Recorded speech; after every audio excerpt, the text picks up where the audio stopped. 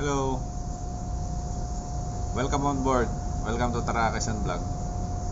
Kung makita nyo to, ito yung one, yung kung na sealant na sinasabi ko, yung last na reels ko.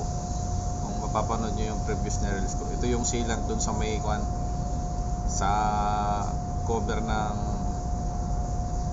parging line dun sa may pump side banda.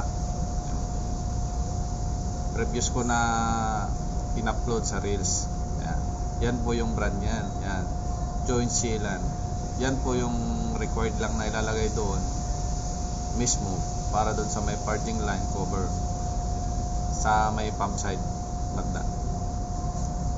Okay guys, ipapakita ko sa inyo kung saan banda naka nakalagay yun. Doon po sa next video ko.